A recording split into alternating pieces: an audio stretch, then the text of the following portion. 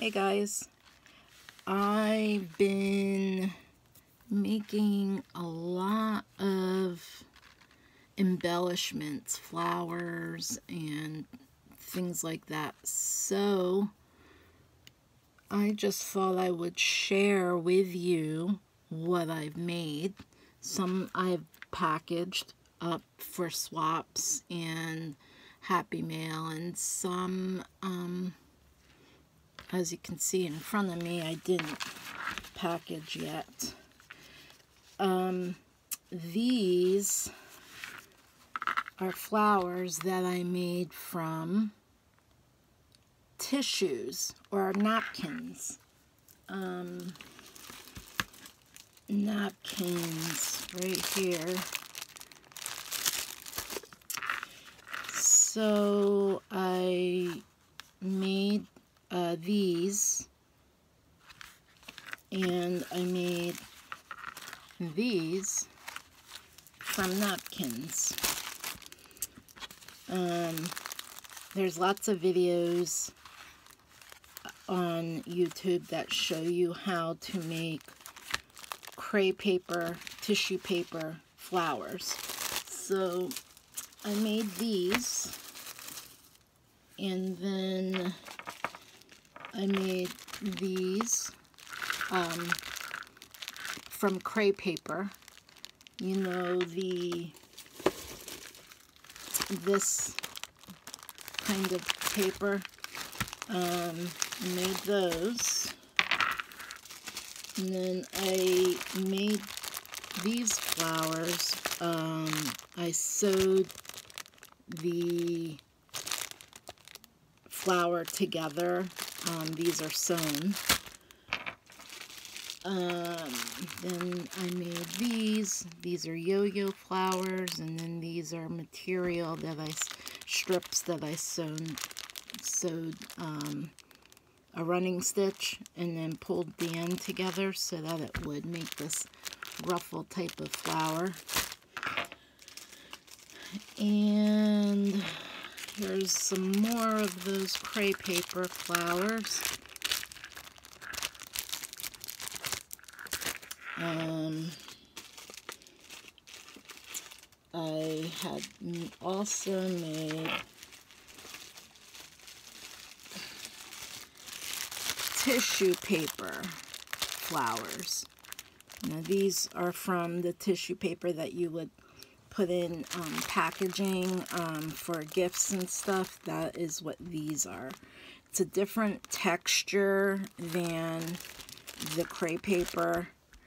Um, so that's where this came from.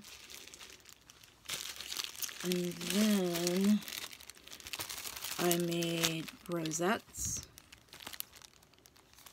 Several of those. This is what the kick I've been on. I've been making these, enjoying making these, and um,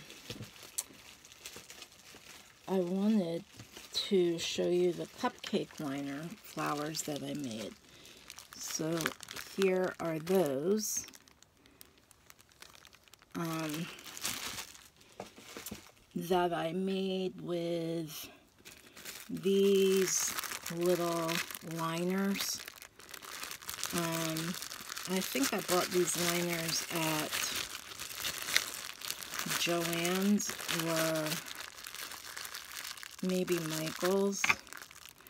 But that is how these flowers came to be. And I thought that maybe I would show you um, quickly how to make the napkin flowers. So I have nothing prepared and I'm going to do all of that while you watch so that you can see exactly how I do, how I make them. So, you take a napkin and what I do is I, this is the folded end here. And so I'm to go in, use my grid here, go in like two inches. And fold it. And now I'm to take it and fold backwards on that same fold. And then I'm going to cut the strips to on the fold that I made to um, cut the squares that I need to make the circles that make the um, this type of like carnation type of flower. So what I do is I fold, I don't unfold the, fold the napkin at all. I just take it and I fold the napkin over and then I fold it back. So it should get about three times. So you can measure it or not measure it or, you know, whatever. And so then I, um, excuse me back here, I need the paper, uh, then I punch, I make uh, a punch, a circle, I put it in the center, and I staple it as per not as doesn't have to be perfect okay? Then I take my pinking shears. Okay take my pinking shears. And and I follow about a half inch or so depending on how big or small I want my flower to be and cut around it the circle to make a circle type of of uh, cut around that. Now this is garbage, so we don't need that anymore. And so now what you do is you start pulling the layers up and scrunching them around the staple. Let's see how I'm doing. Now you can make these with um, coffee filters, uh, crepe paper, tissue paper, um, mulberry paper, but that that's hard, that's expensive um, to buy, so that would be something that you could buy if you had, you know, had the money to buy the expensive, more expensive type of paper. So you just keep pulling up the layers and depending on how full you want your flower, also it, it depends on how you know, your preference. And because this is only one two inch strip and then I cut it down and the flower ends up being about an inch and a half around. So if you can see what I had have done, you just keep bringing it all up to the middle. Squeeze it in and then you kind of do this um, I don't know if you want to say separation, but pulling it down so that it looks more flower-like. And then here is what you have. Now you can certainly trim it off if you like, because of course the middle is going to be the part that um, it might be higher than the outside. Now, I used a marker on the ends to do some coloring.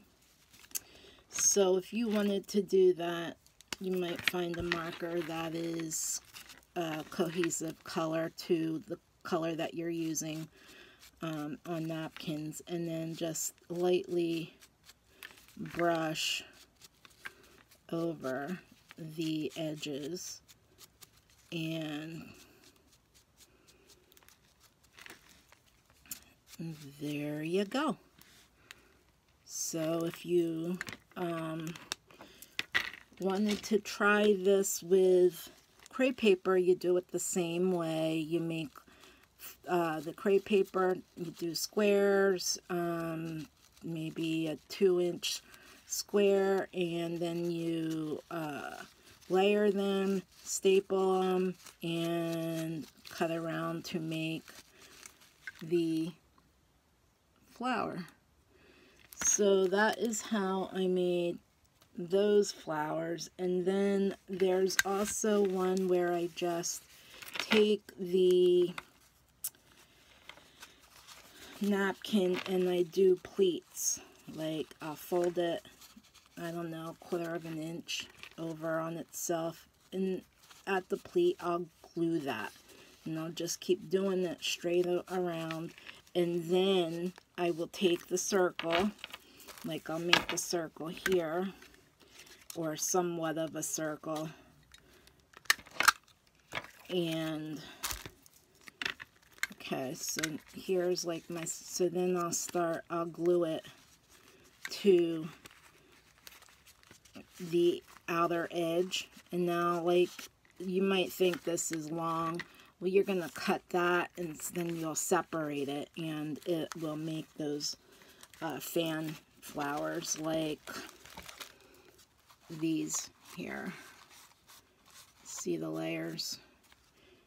And that this is all I did was I pleated and glued down at the top and then I added it to the circle and I glued that and then I started making it go so that it would go around. See how it's gathering a little different now?